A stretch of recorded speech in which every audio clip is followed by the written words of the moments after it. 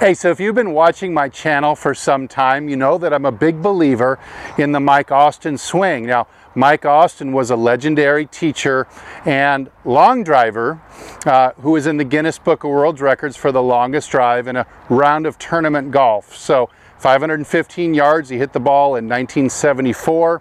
And his method is a little bit non-traditional. I'd love to show you the basics of it right after this. And I want to show you how I strongly believe that this method hits the ball not only longer, but straighter, more efficiently, for less effort, and I also believe it does puts less stress on your body as well. So if you'd like to learn something a little bit different that might get you going in the right direction with your golf game, then stay tuned right after this.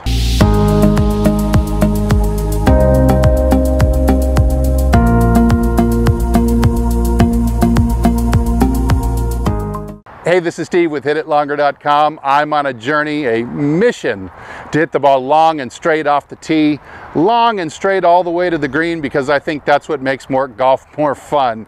Hey, if you're on the same journey and you would like to hit the ball longer and straighter too, then by all means, um, subscribe to the channel, turn on your bell notifications, like this video at the end if you liked it, and uh, please leave a comment down below. Don't forget about my website, hititlonger.com. Head over there right after you watch this uh, because you're going to get over 100 free articles and videos that I think are going to help improve your swing and lower your scores.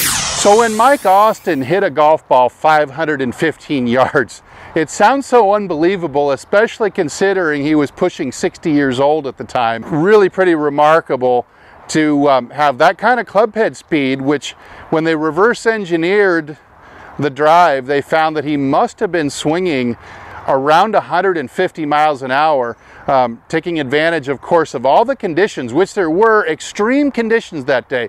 Um, any record long drive always has conditions. So what I mean by that is uh, downwind, um, hot and dry, um, bare, dry ground for sure, and maybe a little bit of luck with a a really good bounce off a real hard part of the fairway. Maybe you just got a little bit lucky. Mike describes it that it didn't follow a parabolic arc, but it just seemed to hold a line. And his wife was there that day, Tanya, and um, she describes it as the hand of God just held it up in the air. So it's almost like a spiritual, religious experience to watch the ball fly down the fairway like that.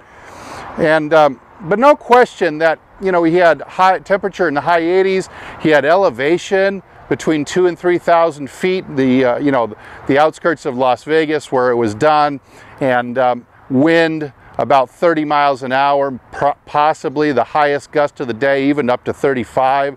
So very strong wind, and of course, golf course where they were playing at wasn't this super duper lush. It was a very dried out, almost airplane runway uh, type of condition in the fairway. So everything was just brewing for him to hit this incredible drive. What is remarkable about, remarkable about it, I think, is that it missed the flagstick by a yard as it, it waved as it was traveling past, uh, rolled over the green and onto the next tee box of a 450 yard par four. So Mike was really something else. He was um, perennially in the top 10 of golf magazine's um, instructor list that they would come out with every year, the top 100 instructors, which is a very prestigious list. It's very hard to get on there. And Mike was always in the top 10. He just had so much knowledge. He might not have been the easiest guy to get along with all the time, but he had so much knowledge. He was like he was a walking, talking medical textbook, and I'm not exactly sure where he got it all. But Today I want to show you some of the basics of the swing he taught. Um, hopefully you're going to find that it's just a simpler way of first hitting the ball straight and then hitting the ball for power. Uh, it's a little untraditional you're going to see, but if you'll just hang in there with a little bit of an open mind, understanding that you might break a couple of rules that have been hammered into you over all these years, if you can keep an open mind, uh, then I think you're going to make some real progress with your golf game.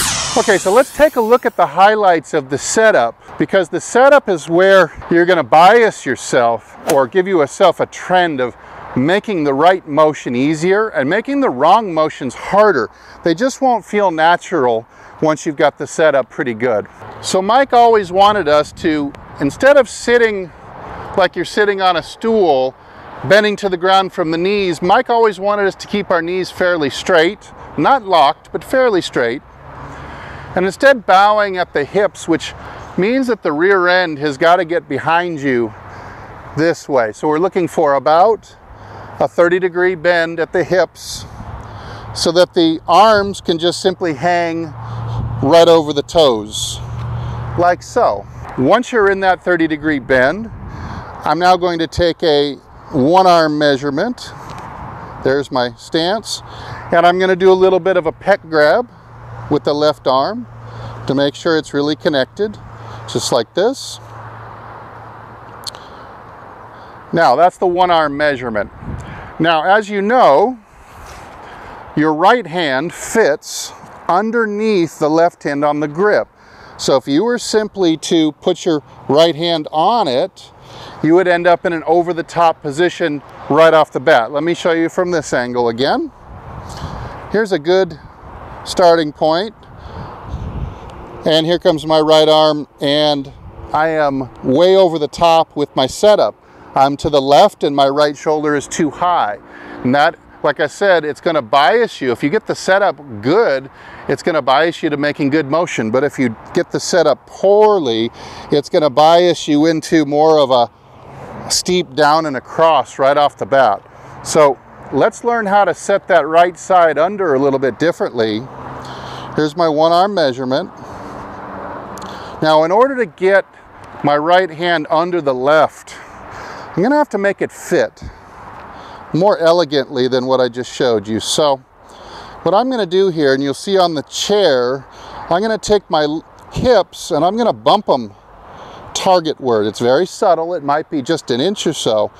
And what that's going to do is put me at a very slight tilt at the spine, also dropping my right shoulder lower than the left. Like this. Now, my right hand now has the freedom to come underneath this way, and yet I'm going to be square to the target line with my shoulders and feet and hips. So from this angle, it's bump the hip, flex the knee. That lowers the right hip, lowers the right shoulder. Now I can fit very elegantly right under there and you can see my shoulders are square to my feet. Mike also asked us to have the correct lead, which is the forward lean that's built into the man, the design of the club. I've got a nine iron here. I believe a nine iron should be leaning forward about four inches, just like this. So not here, that exposes too much loft and too much bounce into the ground. And if I wanted to get to impact the right way, I'm gonna have to find a different position with my hands and my wrists in order to get that forward lean. So I'd rather just start closer to my impact position. I've got my hips this way like I'm gonna do in the downswing. Right there. So I've got the right forward lean. Now I have a nine irons worth of loft presented the leading edge is in contact with the turf and I'm ready to hit it on the proper trajectory with the proper divot. All right, let's move on to the compound pivot. This is something that's going to be very new to you uh, if you haven't heard about the Mike Austin swing before, but I want you to hang in there. There's a reason we're doing all of this. It's very specific. There's nothing here that's just arbitrary or willy-nilly. Everything is like, like if you designed a machine to hit a golf ball, except the machines that you see hitting golf balls, like for robot testing and stuff, well, they have one arm and they just sit on one base. So if you designed a human machine to hit a golf ball, this is the way that you would set up. So the compound pivot is going to work like this. It's going to work in three motions. This is what I teach all my beginners when I get a beginning golfer and boy, they get going right away. They start hitting the ball up in the air and straight almost within 10 or 15 minutes. So there's No struggling when they're beginning at all. Now watch what I'm gonna do here. I'm gonna move down the chair so you can see the exposed end of the chair here. Now, contrary other other methods that you might find, they want you to just turn your hips 45 degrees. Some of them even want you to push your pelvis target targetward as you turn 45 degrees. And that, boy, that puts me in a negative position. I feel more weight on my left foot right now than my right foot. What you're gonna find about the compound pivot instead is that it's a just a more complete shifting of weight. I like to call it as if Happy Gilmore wasn't allowed to take a run up. It's the most weight shift that you can possibly get into your swing, the more, most body force you can be moving at the target and down into the ground as you come through the ball. That's gonna work like this. First, I'm gonna take my, my right butt cheek, which is firmly on the chair behind me, and I'm gonna slide it. So I'm gonna break a big cardinal rule here to keep my my hip inside this post here. I want to break this post and I'm going to push the hip to the right of it. I'm going to try to center my pelvis over the inside of my right heel this way. So I'm, I'm moving it this way. I'm not even going to attempt to turn it into the wall. I'm just sliding it along the wall like this. Now when that happens, we're going to get a tilt of the spine. We're getting a tilt. This is actually really good thing because it's going to make the left shoulder work down, the right shoulder work up, and it's going to be an integral part of getting the right tilt to turn ratio in the backswing that's going to set your club right on plane. So we're getting number one, bigger windup, bigger shift of weight on the backswing, and number two, we're facilitating a perfect swing plane. So motion number one, super important. Bump the hip to the right. Now you don't have to do it as much as Mike did, way over here. That's if I was really in a long drive contest and I was just going for broke. Need to squeeze out that extra couple miles an hour, but really you can just go a couple of inches and you'll be just fine. Just enough to establish the right tilt to turn ratio with your shoulders and hips. The next thing we have is the flexion of the knee. So the knees are simply gonna work like you're walking in place, like this. And I want you to flex your knee outwards away from the wall behind you. So I'm going right at the camera. Until my heel comes up. So you watch from this angle, See how my heel, once I bend my knee enough, it naturally just wants to come up. I just want you to practice this way, kind of marching in place. The third idea we're going to be doing is at the ankle. And here we're going to be rolling in. So you can just practice rolling the feet in, rolling the feet in. These are fantastic building blocks to build this swing, especially the last two, the marching in place and the foot rolling in that's what all the greatest golfers in history have done. Just watch their videos. They're all very free with the feet and the knees, detaching, then attaching again as they switch sides. Now putting that all together, I'm gonna make a full compound pivot here and I'm gonna allow my torso to respond by winding. That's gonna make the club come back about an hour and it's gonna set it on the perfect arc right there. So you watch this action here. No arm or wrist going on here, just compound pivot. Right there.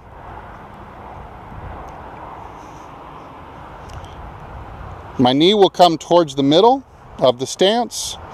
The weight is on the right foot about 75 to 80%. And I'm trying to get on to the instep of this left foot where the only part of my shoe that's touching is this little white strip here. Now going on the downswing, I'm just trying to reverse everything.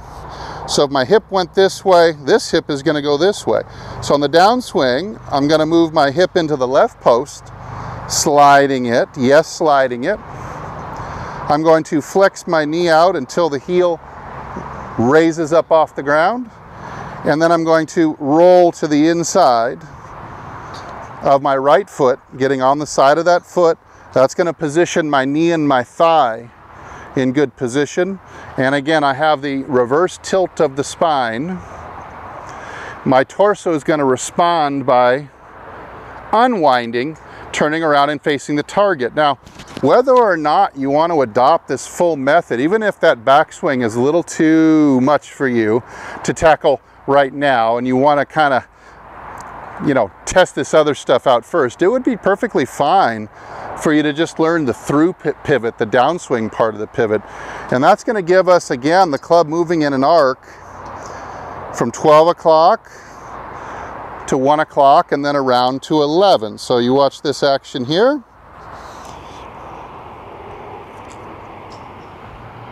There's a one hour swing and then a one hour swing this way. What that does for us is it creates the, the club to make a perfect arc back and through, and it's keeping the club face square to that arc. It becomes very difficult to hit the ball offline. Let me try one from this angle.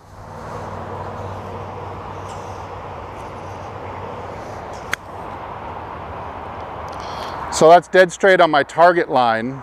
Uh, no side spin either. The other thing it's giving you with this compound pivot, just to work on the pivot alone, is low point control. My low point is going to be always in front of the ball to my left instep. So you'll see here, I'm going to hit the ball clean, even though I'm not using any arm or wrist, just pivoting.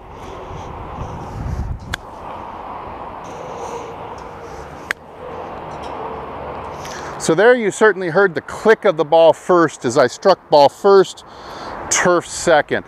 So if that's one of the issues that you face with your game, a lot of fat shots or thin shots, then certainly this compound pivot is going to help you. See how the all the big muscles of the body are shifting and winding and then shifting the other way and unwinding and that's going to give us a consistent low point off the left instep. Okay, let's watch again from the down the line angle. I'm going to construct a one hour swing starting at 12 or at the ball. Now the pivot is going to take me to one.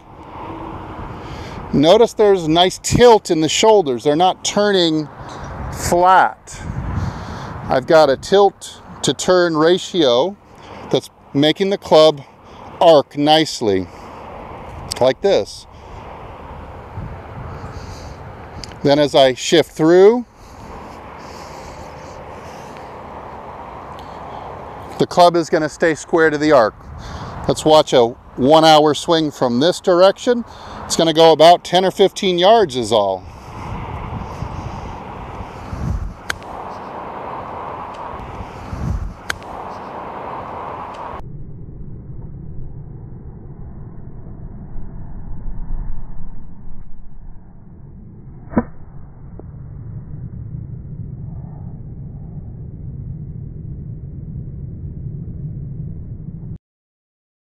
The measure of a really good swing that's going to be consistent and repeat for you is a swing, no matter how you do it, it's a swing where the club follows the arc where the tangent is the target line so that your path would be straight at the moment you strike the ball. Not too inside out, not too outside in, but a nice arc circling into the ball. The other thing a great swing would give you is keeping the face of the club square to that arc, this way. So if your club face has the smallest amount of the most gentlest rotation through the strike, not only are you going to hit more shots dead straight, but when you do make a little timing error, if you're having a bad day, your misses are going to be very mild, not all over the place. So what I'm telling you is, the way I'm doing it here is not only going to give you plane and path, but it's going to give you fantastic blade control or club face control going through the ball as well. That's going to give us tons and tons of accuracy. Now that's just the basics of the pivot. Constructing the backswing is going to involve arms and wrists, which we can cover at another time. But for now, let's, let's um, wrap up the pivot and we'll move on to the um, free release of the club head. Mike, do you attempt to delay the uncocking of the wrists and the hands on the downswing? I certainly do not. This is where I get to jump on almost anyone when I try to hit the ball. When I move my, my weight over here and my shoulders rotate in this manner, I give the club a throw so it will catch up. Your stimulus begins right here. Everything works as a unit with the hands trying to work faster than the arms so they can't take up the slack that's, that's in the bend of the wrist, like what we call the cock of the hand. So, so many other methods of teaching, they kind of ask you to either delay the uncocking of the wrists this way, or they might even ask you to try to purposely pull the butt of the club towards the ball, which would look kind of like this, which Mike Austin would used to call harpooning the whale or, or ringing the church bell.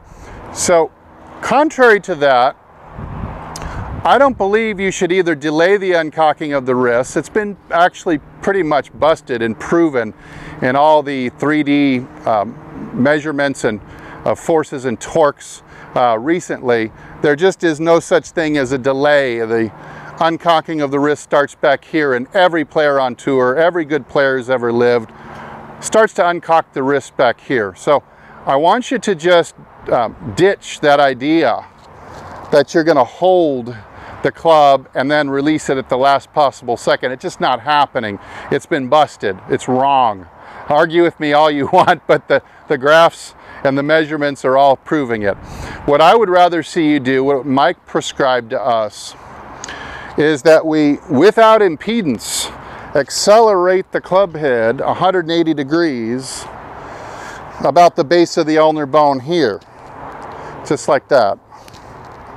So you'll notice it's not going to be my arm that is responsible for advancing this end of the stick.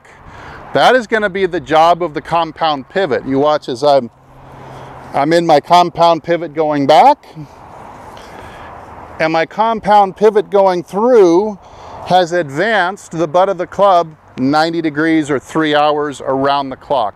I'm going to leave it to my compound pivot to advance the butt of the club on the right arc around the body. Meanwhile, you see, I'm just simply going to accelerate the club around that bone right there. Two hands, it would look like this and I'm, I'm just going to try to throw it. So if I were to let go of this thing, it would do a tight helicopter and sail in that direction. So I'm after suppleness, very light, and I'm trying to make the club head swoosh 180 degrees about my wrists from 90 degrees cocked, maybe even more if you have the flexibility and you're looking for more speed to around 90 degrees very quickly, very rapidly, not taking a long time to do it, but very supplely and very quickly snapping the right elbow, sending the club around in a circular fashion with the maximum amount of acceleration and freedom. Freedom is the key word. So you've probably had this trained out of you if you're you're nodding your head right now. You're, you're shaking your head. No, this can't be right, Steve. This can't be right. This is a flip. This is a cast. It's a flip. You can't hit it like this. There's no way. so I, I, I hear this every day. It's all right.